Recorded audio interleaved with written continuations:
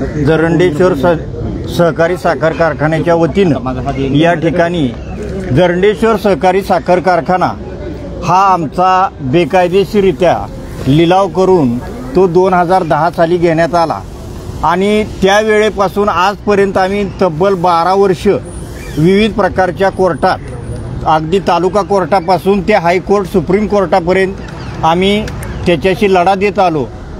आम्ही या ठिकाणी हायकोर्टाच्या निर्णयाप्रमाणे ही आमची केस ईडी कार्यालयाशी संलग्न होऊन ईडीच्या अखत्यारीत आल्यानंतर त्या केसमध्ये बरेचसे असे त्याच्यात हे झाल्यानंतर ईडी कोर्टानं त्या केसेची चौकशी केली आणि चौकशी आणती.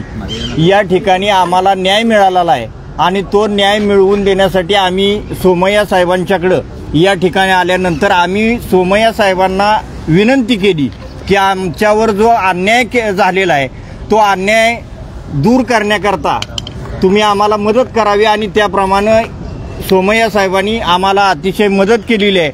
आणि या पर कार्यालयात येऊन आमची केस आता शेवटच्या टप्प्यावर आहे.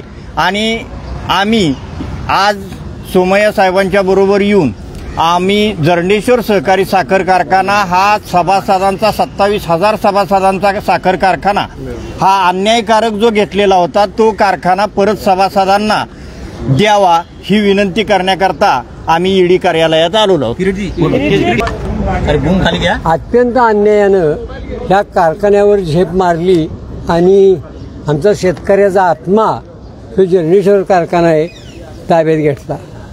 पुष्कळशा प्रयत्नानंतर आमच्या आणि सोमय्या साहेबांना आम्ही विनंती केली. सोमय्या साहेबांनी आमच्या विनंतीला मान दिला आणि आमच्याबरोबर ह्यांच्या प्रयत्नात त्यांनी जे जे सांगितले कागदपत्र ते ते आम्ही सगळे दिले आहेत. आम्ही आत्ताच निवेदनवरती दिलं आहे. आणि हे निवेदन आता न्यायालयात द्यायला सांगितलेलं आहे. आणि इथलं काही एक हरकत नाही. आम्हाला थोडक्याच दिवसात आमचा जंडेश्वर कारखाना आम्हाला परत मिळेल. याची खात्री आमच्या आज शंभर टक्के झालेली आहे. आणि आमचा शेतकऱ्याचा कारखाना आमच्या शेतकऱ्याच्या ताब्यात मिळणार